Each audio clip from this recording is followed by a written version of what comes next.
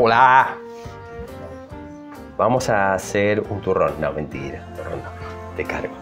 Vamos a hacer mantecol. Mantecol. Que como es marca prohibida, mante Miguel, mante. No sé. Bueno, vamos a generar una, una pasta de cacahuate, de maní. ¿Sí? Para generar esta pasta de maní, acá tengo maní pelado sin sal, ¿ok? Que lo vamos a poner acá. Y en este caso, lo voy a empezar a romper primero y después le voy a poner esa cuchara que se me cayó y ahora la tengo que lavar. Espérame, ahí vengo. Vamos a molerlos. Ya recuperé mi cuchara. Esto es una cuchara de medida cuchara, no es una cuchara... Cuchara. Cuchara. ¿Sí? Si tienes una cuchara que tenga la cantidad de una cuchara, genial. Claro, hay que aclararlo porque después me van a putear. Esto, mira, hace mucho ruido. Es insoportable. Entonces, lo voy a moler. Cuando esté bastante molido, le voy a agregar aceite de coco. ¿Ok? Dame un minuto. ¿Ves? Ahí está molido, pero tiene muchos pedazos. Ahora, impresionante. Si querés comprar la pasta de manilla hecha para ahorrarte todo este trabajo, estaría genial también. Vamos a poner una y dos cucharas de aceite de coco. Podés ponerle aceite de maíz también si te querés, o aceite de girasol, no pasa nada. Este lo que va a hacer es darte un poquito más de dureza porque cuando enfría te va a dar un poquito más de cuchum. ¿Listo? Sigo moviendo y chau con el ruido, ¿eh?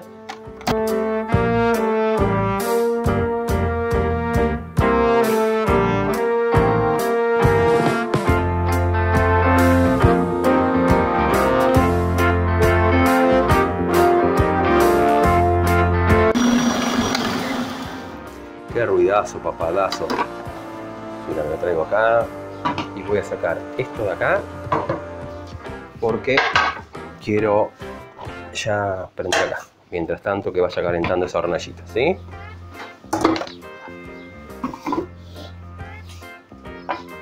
Mira. ¿Ves que tiene algunos granitos? Bien, a esto le puedes seguir dando y dando y dando o hacerlo con algo un poco más pequeño, con cuchillas más pequeñas y te va a quedar más liso. A mí no me molesta para nada y me gusta que tenga textura, ¿sí? Entonces, una vez que tenés esto así, chao. Lo, lo dejas ahí tranquilo porque va a esperar a su próximo momento. Mientras tanto, esto. Allá si querés saber, de todas maneras, cuánto le habíamos puesto, eh, ahí puse esas dos cucharas que viste de, del aceite de coco y 200 gramos de maní. ¿Sí? Acordate sin sal, pelados. Y ahora vamos a hacer un almíbar que va a llevar 150 gramos de azúcar y va a llevar dos cucharas también de, agua, de esas mismas cucharas medidoras, dos para acá y queda así. ¿Ves? Que ya lo puse acá. Y a esto le vamos a agregar miel. Miel de la mejor calidad que puedas encontrar. Una buena cucharota así, ¿ves? Miel. Y listo. Si le vas a pasar el dedo como yo, que soy bruto, que esté limpio, ¿sí?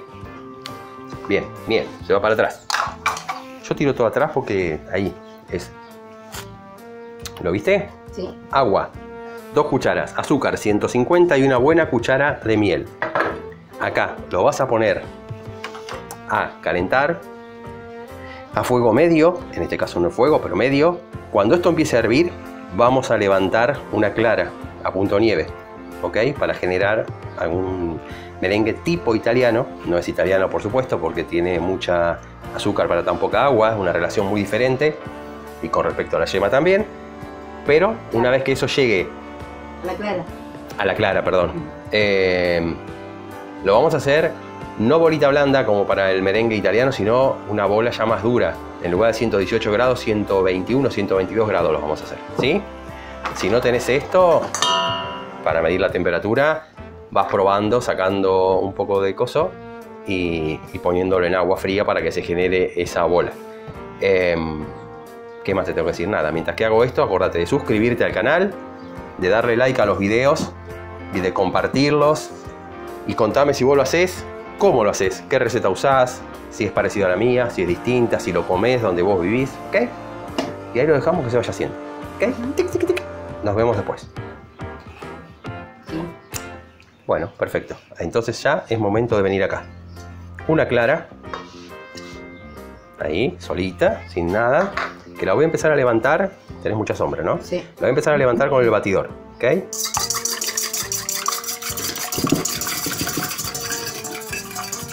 ¿Por qué lo levanto así un poquito primero?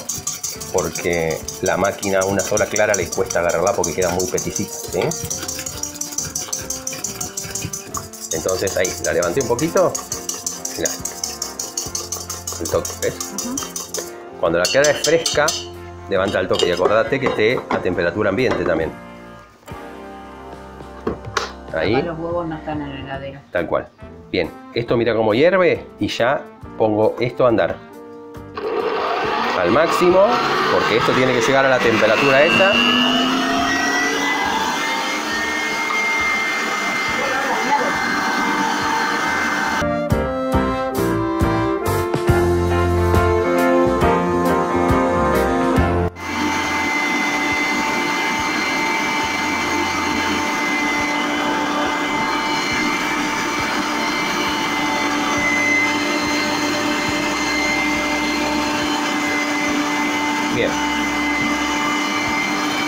Tenemos. ¿Ves? En 122 grados casi ya el caramelo. El caramelo, el, almíbar. Así que le apagamos el fueguito acá.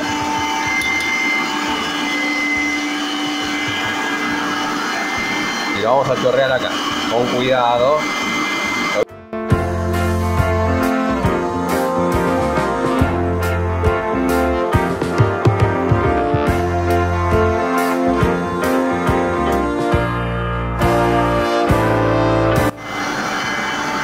Bien, mucho ruido, lo sé. Vamos a corrernos así. Ah. Esto está que pela. Lo tenés que seguir moviendo y moviendo y moviendo hasta que esto quede en temperatura ambiente. Ni siquiera tibio, temperatura ambiente, ¿ok? Te puede llevar 20 minutos, te puede llevar media hora, tranquilo. Le das, de- cuando esté formado el merengue podés bajarle un poco la velocidad y dejarlo trabajar. Eso que hice recién de hacerlo chorrear por el borde es porque si vos le chorreás el hilo un poco más arriba, más suelto, va a pegar contra la. contra. ¿qué se llama? el batidor ese y te va a salpicar para todos lados. Se te va a llenar todas las paredes de dulce. ¿Ok? Entonces, ahora esto está que pela chancho. Hay que esperar a que enfríe. Nos vemos después.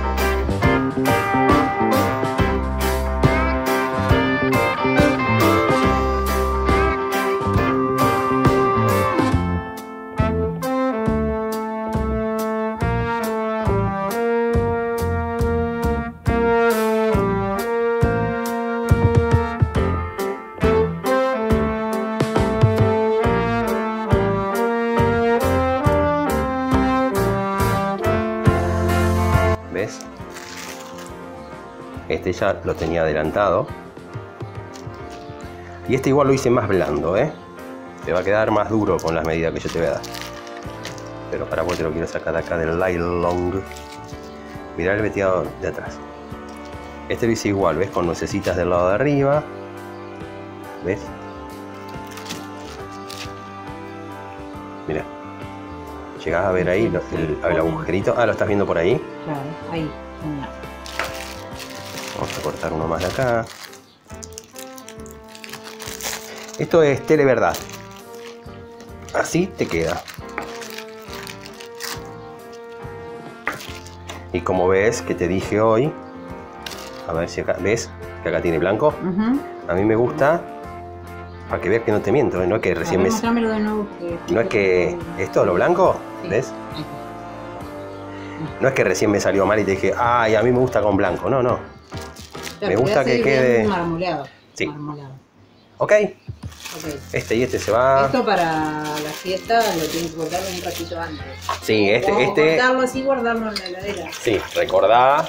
Para que me estoy lavando los dedos. Recordá que este. claro. No es el, comercial que andás a ver las cosas que tiene adentro. Esto si vos lo dejas afuera en la mesa se te va a derretir. Sácalo al momento. Bueno, derretir no, se va a ablandar. Te va a quedar como, como un turrón de los, eh, de los de huevo, esos de yema. ¿Ok? Ahí. Listo. Genial. Eh, mantecol casero, con nueces en este caso. Marmolado con chocolate. Suscríbete al canal, dale like, manda saludos, contame cómo lo haces vos.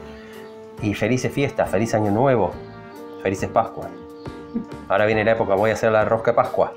¿Sí? Para que te hagas la rosca de Pascua, para los niños que esperen a los reyes. ¡Chau! ¡Me cansé! La rosca de Pascua no, la rosca de Reyes. ¡La rosca de Reyes! La rosca de Reyes para que esperen el huevo de Pascua.